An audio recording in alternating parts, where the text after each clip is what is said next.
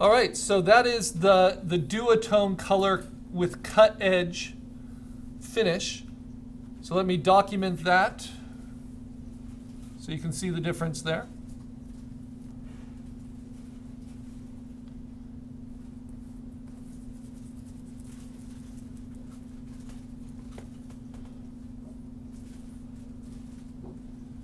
Pick a different color for you.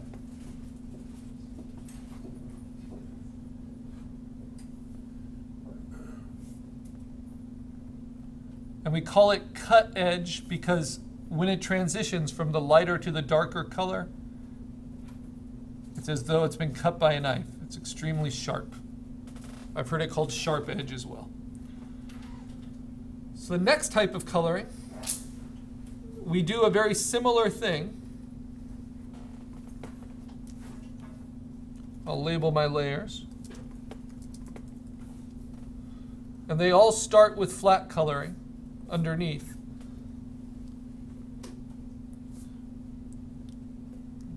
But if you take this flat color and then you lighten it, just like we did with the duotone cut edge, and then we duplicate it again and we make it dark again, or we just paint with darker versions of each color.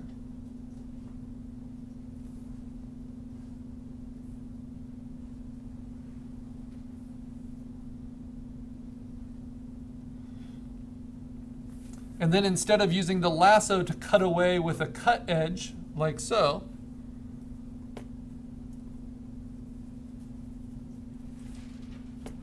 what if we use an eraser and we make that eraser a soft edge,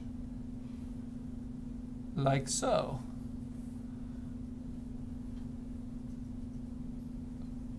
It's a much softer feel, and this is called duotone soft edge.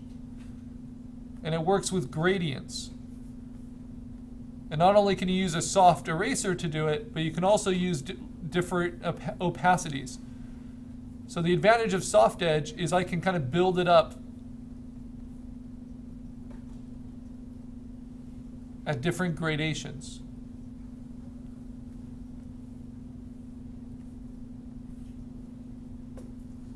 But you're still just splitting every local color into a light value and a dark value.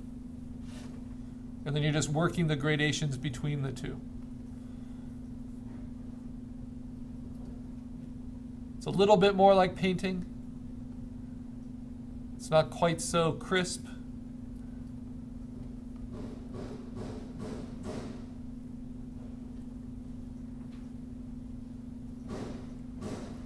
And it can give you some nice variations for sure.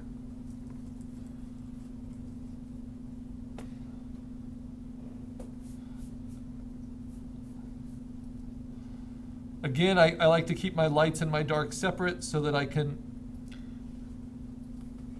adjust them after the fact individually, right?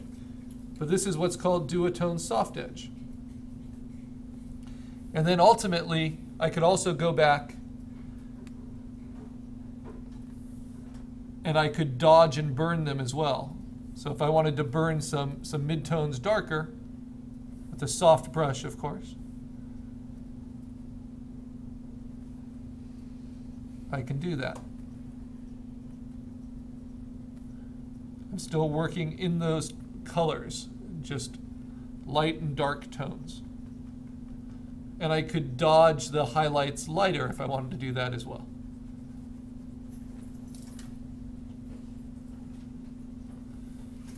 Okay, so let me label that one for you and show you some examples.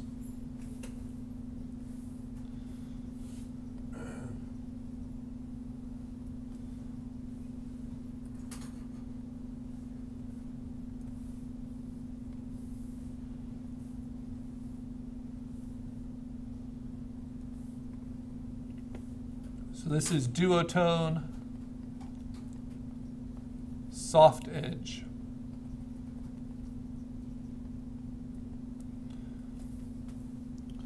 So that's cut edge. So a nice example of soft edge would be this. this is by Mike Allred. So you see there's lights and darks in all of those colors, in the skins, in the in the red of the costume and the boots, in the hair, but it's kind of gradated softly between the two. You can see it in the buildings as well, these kind of softer gradations. Another example, soft edge duotone. It's a very popular thing for comic books. Here it is with lots and lots of detailed black line work. And you can see the duotone on the sword, on the blood, on the kneecap, on the gold. And it works well with heavy black line work to kind of emphasize, and on the gold here.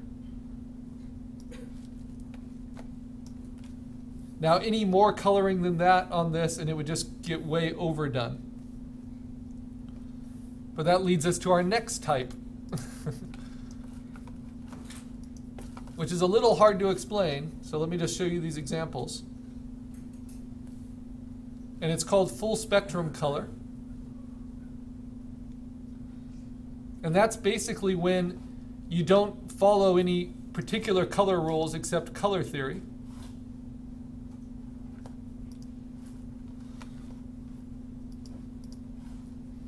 So this is duotone, and it, it looks very dramatic because of all the black line work that's added to the duotone. But still, every local color, like the gold of the helmet, is just split into lights and darks of that same color. In full spectrum color, you start to have different colors appearing on those objects. So her skin actually goes from purple to pink to yellow. or a more dramatic example, and you can see on the columns here how the, the off-white column goes from blue to purple to yellow. Or in this example, how the skin tone shifts so dramatically from light blues to purples to, to yellows. Or in this example, which I really like, you see uh, the Wonder Woman character is actually done in duotone for the most part, soft edge duotone, but, but instead of white, they add blue into the skin tones to give it kind of this otherworldly quality. But then for this really cool Hydra multi-headed dragon design, there is multiple colors in everything, kind of iridescent. So it's shimmering like a CD or like an abalone shell. So that's what's called full spectrum color. To do that as an example is a little trickier. I just have to paint pretty much. And I might as well steal from something I think is cool. So I'll open this up with Photoshop, pull it out into its own window, and steal colors from it and I'm going to do it on top of my flat color.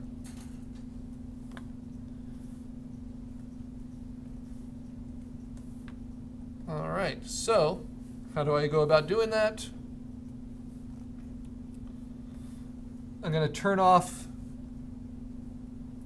me label this, my different coloring layers except for the flat color underneath.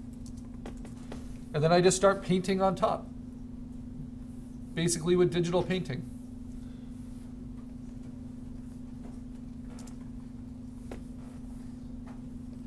So I'll make a new layer on top. I'm going to call this full spectrum color.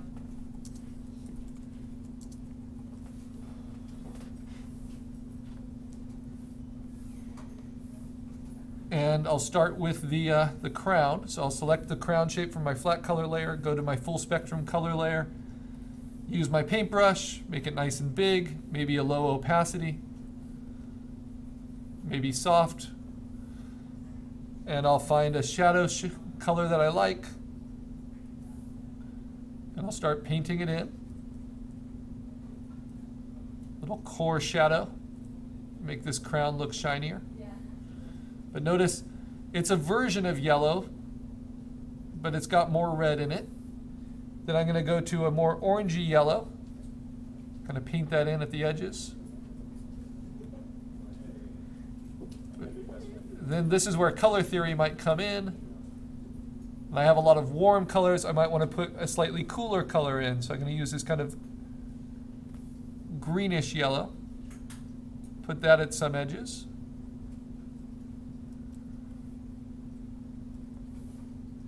And I can always shift it a little bit more towards the cools if I want. Using my color selector. Take its opacity down a little bit to start blending between. And you'll start seeing the opportunities you have when you're doing full spectrum color.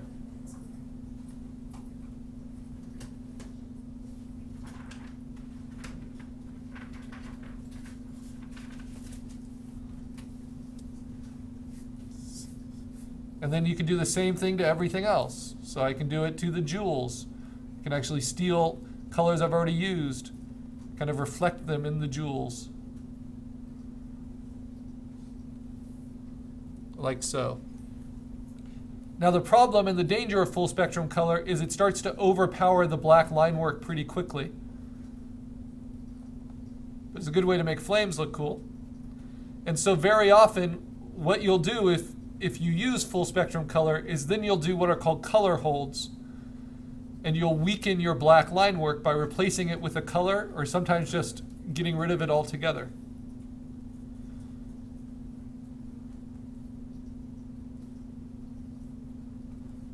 But you see, even in the flames, I can put a little bit of blue just to make them a little bit more dynamic. Some purples.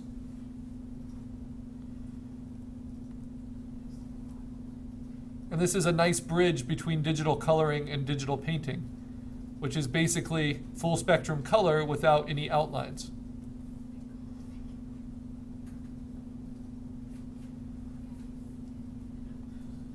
This also obviously takes a lot more time and a lot more of a painter's sensibility towards color choices. Okay, so you see how all that painting of the of the crown and the flames looks a little bit overdone with this black line. So if I wanted to, what I could do is make that black line into something else by duplicating the black line layer, by rasterizing it, and then, like they did in this Wonder Woman image, replace the black with a color instead. So they did kind of a deep purple to help blend in with the colors a little bit more. So if I take that same tact, I would go to Adjustments, Hue Saturation, and I'll take my black lines and I'll colorize them and force them into a color. Maybe something a little warmer like so.